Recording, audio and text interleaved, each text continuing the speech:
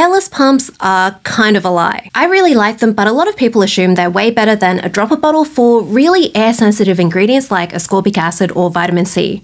But they aren't. Airless sounds like they block out air completely, but what it means is that instead of like in a regular pump where air replaces the product that you use, there's a disc in the bottom that slides up and reduces the air on top. But standard airless pumps have a hole going from the outside world into the product open the whole time. Oxygen molecules are really tiny and move really fast, so that gap is huge for oxygen molecules. On the other hand, if you have a dropper bottle, it's sealed pretty well if you screw it tightly. Yes, there is some air inside, but if you do the calculations, a completely air-filled bottle only has enough oxygen in it to react with one third of a mil of 15% L-ascorbic acid. And that is the absolute worst case scenario. In reality, it's going to have less air inside than that, and not all of that will react with the vitamin C. On the other hand, the pump product is in contact with 21% oxygen in the air from the outside pretty much the whole time,